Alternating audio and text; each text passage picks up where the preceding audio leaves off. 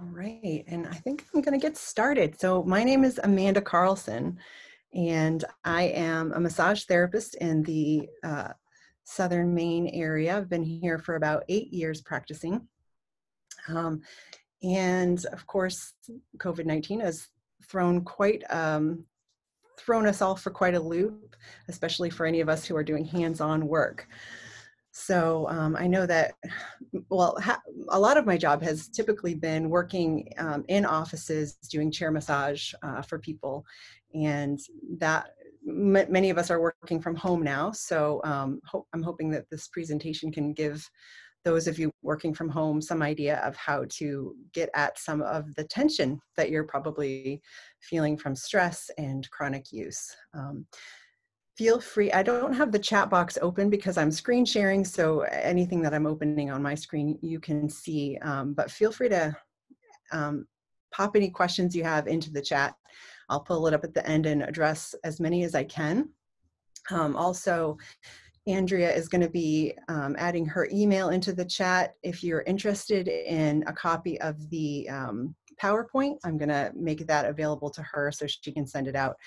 The PowerPoint was designed for a bit of a longer session, so I'm going to skip through a lot of the, um, pretty quickly, a lot of the slides, um, but they'll be available if you want to look at them later or look further into it on your own time. Um, so without further ado, I will get moving. Um, so I'm, I'm just going to skip through a lot of these signs of stress, the physical, um, the way that stress manifests physically and mentally. I'm sure we're all experiencing quite a bit of that. Um, some of the physical responses to stress that we are experiencing um, more specifically in our organs and um, all of our systems. Um, and this is just a really great example of um, the difference between the fight or flight and rest and digest system, um, the nervous system. Uh, it affects all of our organs, and um, there's a lot going on in our lives uh, where we're constantly in the fight or flight.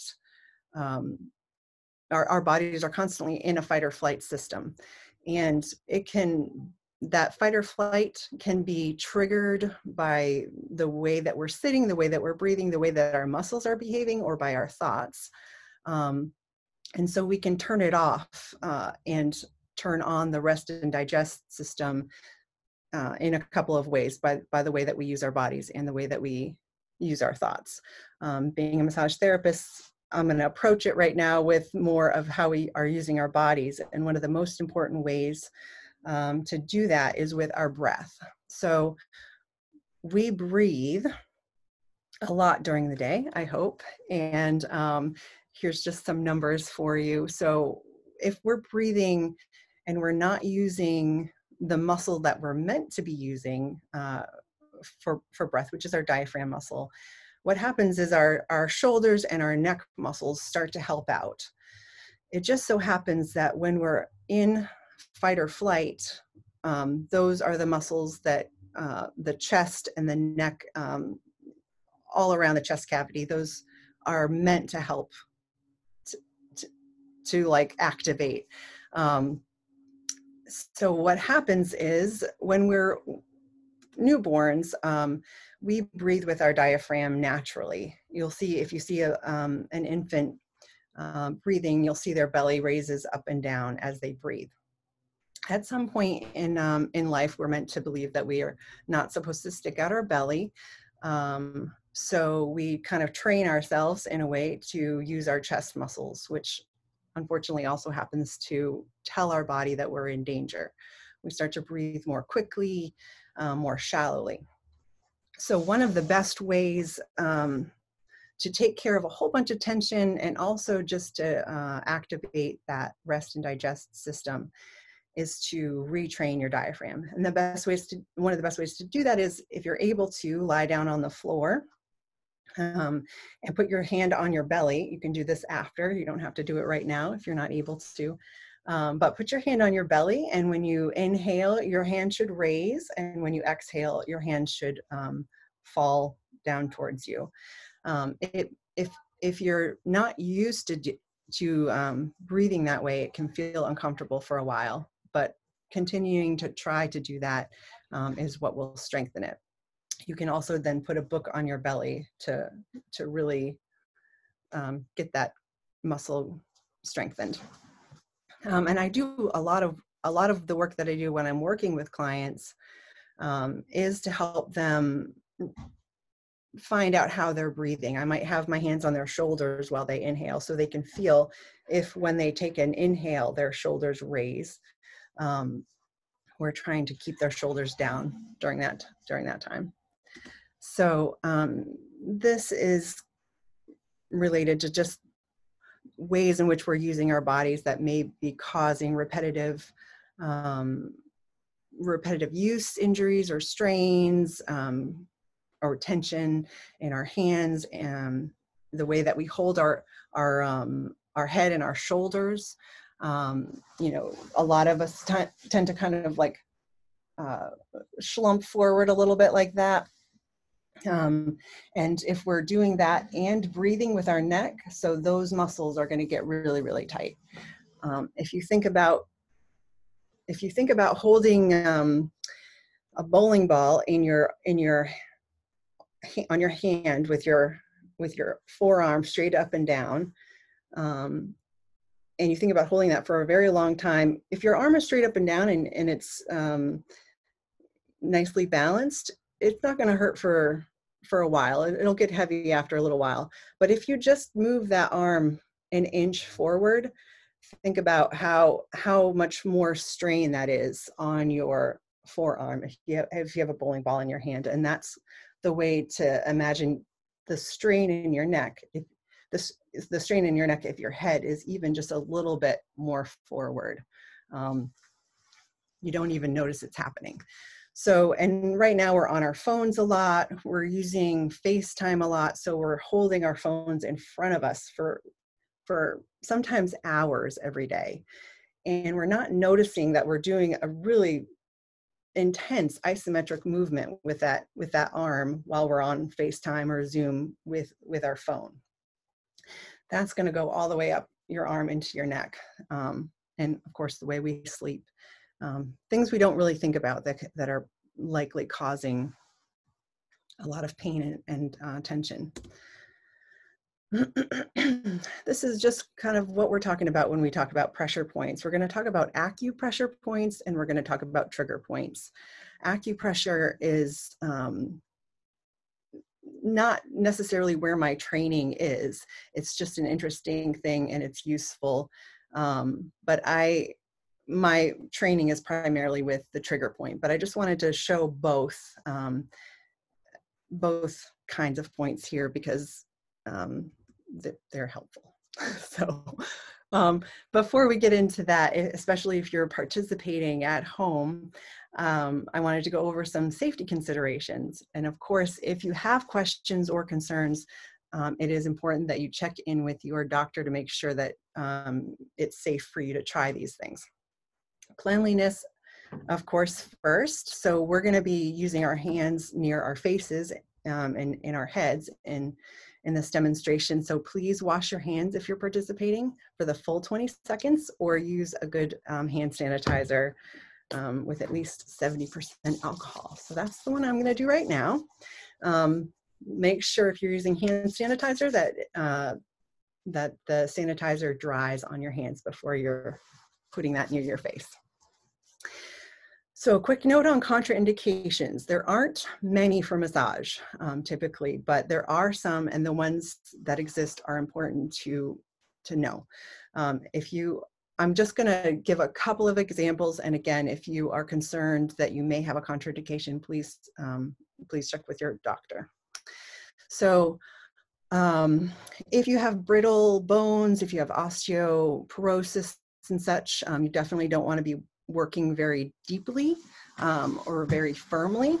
Uh, you want your therapist to know that if you're working with a therapist, but also at home, um, you want to be just gentle with the amount of pressure. I'm just adjusting the, um, gotta adjust that a little bit. So um, another one that's another contraindication that's become a bit more important for massage therapists right now because of COVID 19 are blood clotting disorders. So, if you have blood clots or um, blood thinning disorder, it's something to really make your therapist um, aware of if you're working with massage therapists, but also if you're doing work on yourself. Just make sure that you're able to do it. Run that by your your um, primary care physician. So um, blood clotting disorders seems to be a complication post COVID infection for a lot of people, and we don't want to loosen up um, a clot um, when we're doing when we're doing the work. Um, medications, an example of a medication that could be um, a safety issue is if you are taking a medication that prevents, um, that's meant to be for pain, um, it could prevent you from feeling when you or your therapist are working too deeply. Um, and so that's just an important thing to think about as an example. All right. So acupressure, this again, I'm just gonna skip over it, but it's available. Um, you're welcome to um, read through these things when, if you're interested in receiving the, the PowerPoint. Um, these are, this is sort of the way the body is seen. Um, this is kind of the traditional Chinese medicine um, paradigm.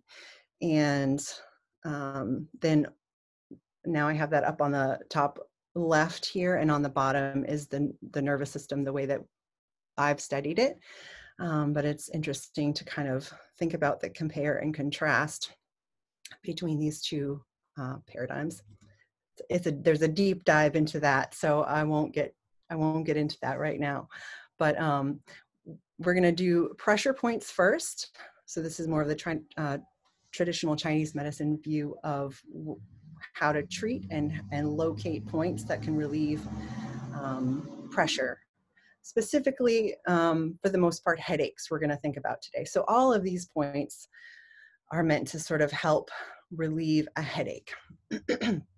but we're not going to go over all of them. And each point, the initials and then the number is related to the meridian and then this the the point on the meridian where you'll find it.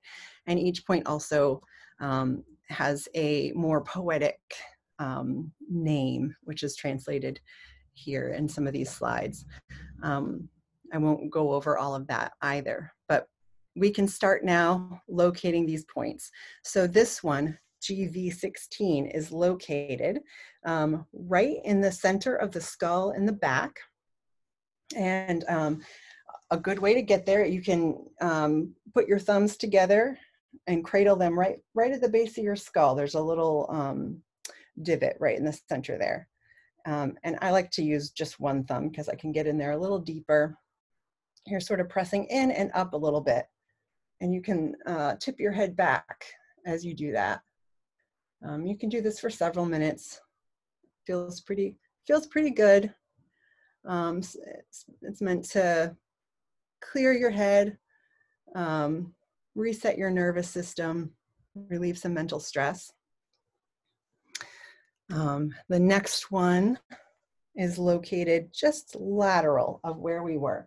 So starting where we were and moving outwards, um, you'll kind of go over the hill on either side of your trapezius muscle and into a divot on either side of each um, each muscle area there.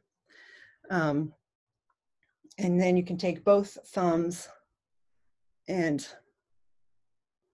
uh, rest in rest your head back and into that again moving sort of in and up in this case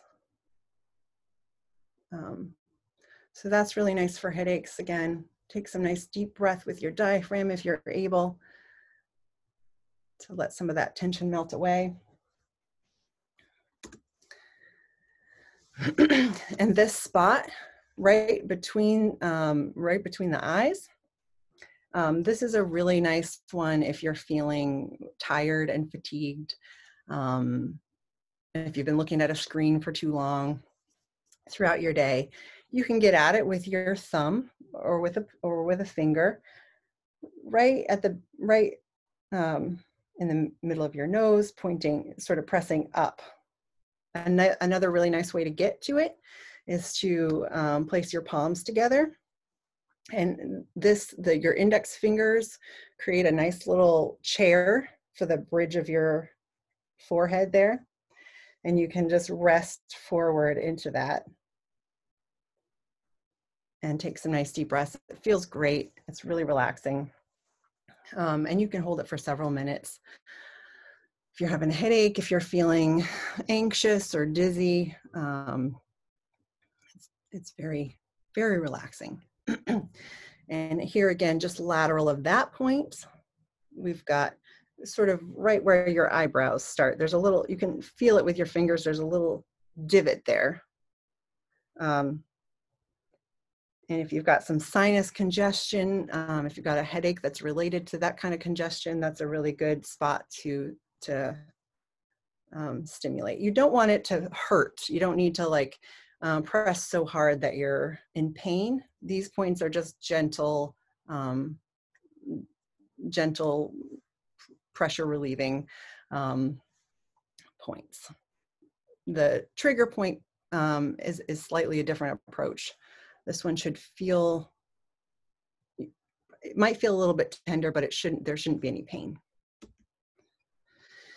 And these points where we just were, you can see that at the forehead, but then there's a couple of points here um, underneath the cheekbone. That's, uh, again, really great for sinus if you have sinus pressure, congestion. So you can use two fingers and get both of those points at the same time um, or just one at a time right by the base of your, um, or right by uh, lateral of your nostrils and then just one other finger down. You can get two fingers in there. And then, you know, you can get, you, you, so I guess you could try to get one here and one here if you're feeling, if you're feeling crazy. Um, but there's no, you know, it, it's kind of like whatever you're feeling you need um, at any given moment, whatever's working. Um, this point, if we ever end up in uh, a group meeting again, this point is a little a little more um, subtle. So um, you can you can do it while you're sitting um, with a group of people. But if you are pregnant, um, please skip this one. It is believed that this point can stimulate um, uterine contractions. So unless you're going for that, skip it. Um, but the way to locate it is thinking about the bone um, of your index finger between the wrist and your first, this, this knuckle here, the, this first knuckle. Find the point directly in the middle of that and put your thumb there out um, so that your, the tip of your thumb is pressing in towards the bone. And then take the index finger of your other hand and squeeze right there. So this is meant to also relieve headache, anxiety, supposed to strengthen the immune system, which is a great thing to be doing right now. And you can, it, there, it's just a very small space, but you can massage it a little just uh, in time, you know, make tiny uh, movements um, perpendicular to that, to that bone. Um, so that's the end of the acupressure. Those are the, those are the acu acupressure points that we're going to go over. Um, and the next sec uh, section is where I'm talking more about um, trigger point, which is more where my training um, lies. But I'm going to skip over some of this information here, how the muscles look, how they're put together, how the tissues look. And even here, if you're interested in trigger points um, and you do a search, you'll see a lot of mapping that looks like this, where you're just kind of getting a sense of where a point is as, as opposed to all of the areas in which you might actually be feeling pain from that point. Um, and there's, there's quite a lot to it, but in the not too distant past, someone realized that there was, um, th there seemed to be some consistency in where people were feeling pain um, and they mapped it out for us, which was which is lovely. So here's looking a, a bit more closer at some specific um, muscles and where we might be feeling pain. Again, thinking about headaches, upper body pain. Here's this is the sternocleidomastoid muscle.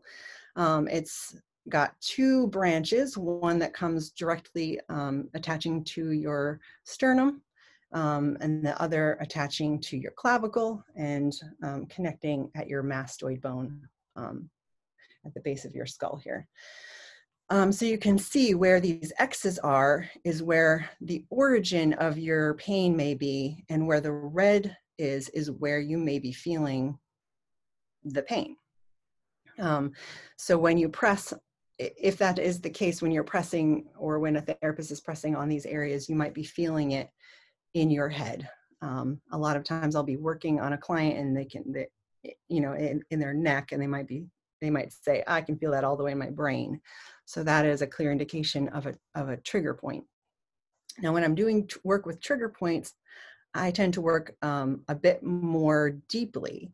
Um, and a therapist um, may give you a, a pain scale from zero to 10, 10 being like you're going to black out from the pain, um, nine being childbirth or kidney stone um, type pain.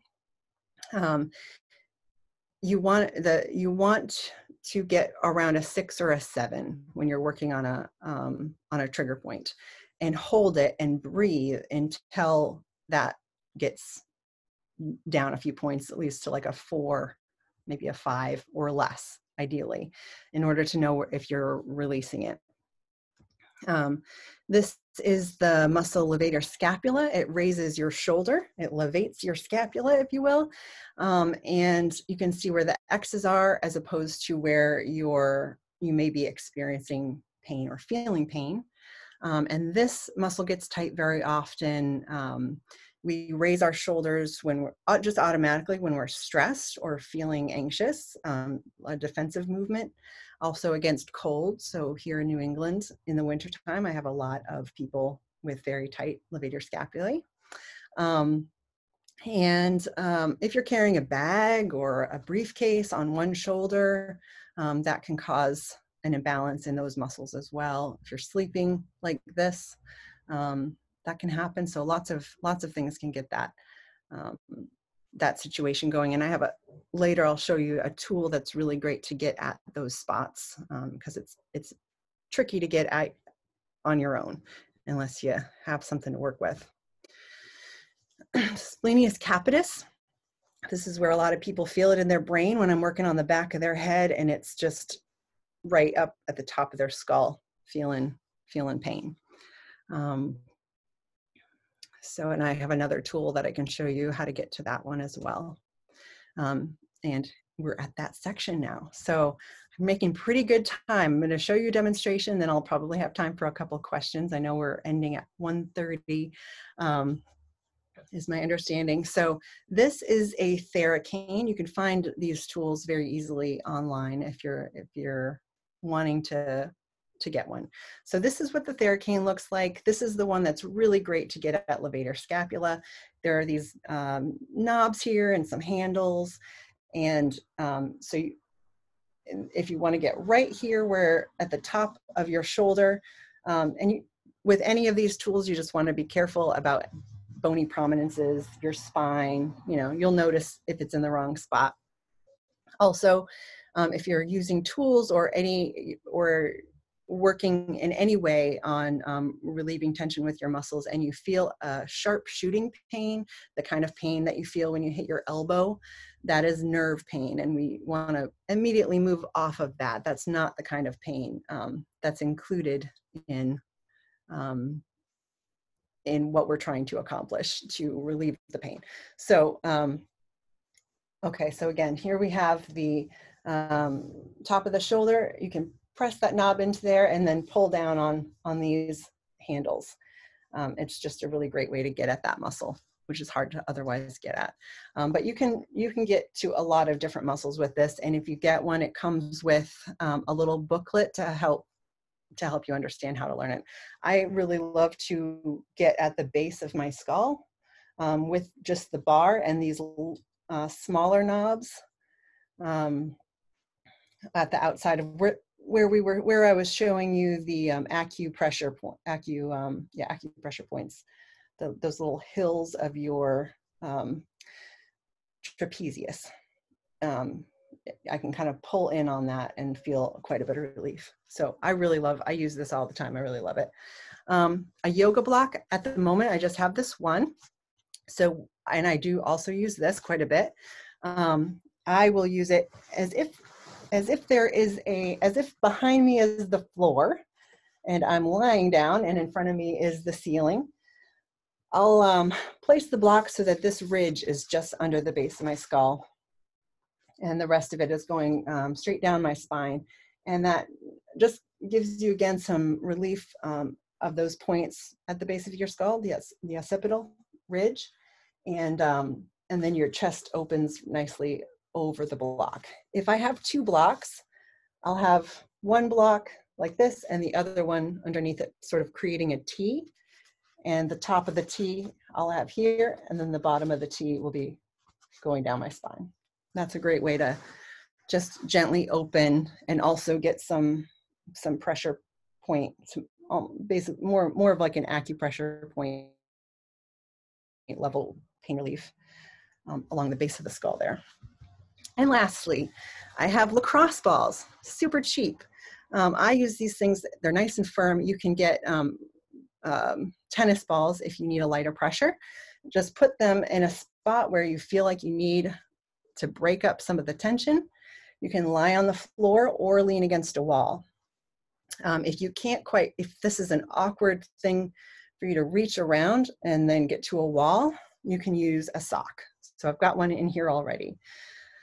We've all got socks that don't have a match, and this is a great use for that. So you just put the, put the lacrosse ball to the bottom of the sock, sling it around, get it to where you want, and lean onto a wall. I also like to use two, um, shake it down in there, then tie it. And now in the center here is where your spine goes. You put it on the back of your head. You can just lay there and um, shake your head yes and no. Um, I once participated in a at a yoga studio in a class that was called ball rolling, and essentially the tools were this. Um, and we lay on the floor and we moved this situation down our spine from the base of our skull to the top of our hips. And we took an hour to do it. And when it was in the center of your back, you can kind of move your arms around to get to break the tension down a bit more. Um, and then just keep moving it a couple of minutes for each spot. It took us 60 minutes to get from here to there. And it felt like I just had a a back massage for 60 minutes. It was amazing. So um, that is the last demonstration. I have a, a couple minutes for questions. So I'm gonna open up the chat box and see if anybody has anything for me. Oh, okay. Looks like somebody couldn't see me, but then they, they got it. Um, okay, demoing the cane for a hip muscle. So depending on what kind of hip muscle, um, all right, I'm gonna get up here a little bit. Hopefully you can see me. Um, the one that connects to the spine. So maybe the um, piriformis one. So I would probably uh, get the cane behind me to where it is and uh, pull forward a bit. Um, so the the cane is pulling forward. But I, I'm not sure if that's the right, that's it. Okay, good, piriformis. Got it. Awesome. So yeah, you can do that with it, with this. I almost would uh, uh, prefer to use this and lay on it if you're able to. Um, you can use one or or both of them to get um, to get uh, the length of the muscle. So sorry you had to see that, but um, hopefully that was helpful. And uh, again, um, there are some, if you want the cane, there, I think the little booklet comes with um, some demonstrations that muscle and and others as well that are that might be a little more clear than what I just did. um, any more questions? All right. I think I think we're good. Got another minute left if anyone has one, any more questions. Otherwise, Thank you so much for being here. Uh, why do muscles get knots? Okay, I can, this is, this is, uh, if you, if you need to go, please feel free to um, log off. Oh, thank, you're welcome, Kate. Um, feel free to log off. I'm looking at Dawn here. She has a question. After this question, I'll log off. Um, muscles get knots because the fibers um, one of the reasons is the fibers get kind of stuck together. A muscle is meant to, um, the fibers of a muscle are meant to slide through each other in contraction and slide out of each other when they're relaxed. Um, sometimes they get caught in the middle and literally do kind of get um, messed up with each other. So um, that's one reason we get a knot. Another reason is that there's connective tissue around our muscle fibers that sometimes um, gets stuck um, so that the muscle the muscle fibers within that connective tissue um, isn't allowing movement of the muscles themselves. That's in a nutshell. Um, i did have more i did go over that more specifically uh, I, I didn't in this in this presentation but typically i do. So thanks for asking that question. It makes me um, it's it's one of my favorite things to talk about but i don't have any more time. So i'm going to Oh, you're welcome, Don. Um, so I'm gonna log out and I'm really grateful to see all of the participants. I wish I could see your faces, but it's nice to know you're all there and I hope this was helpful. Thank you.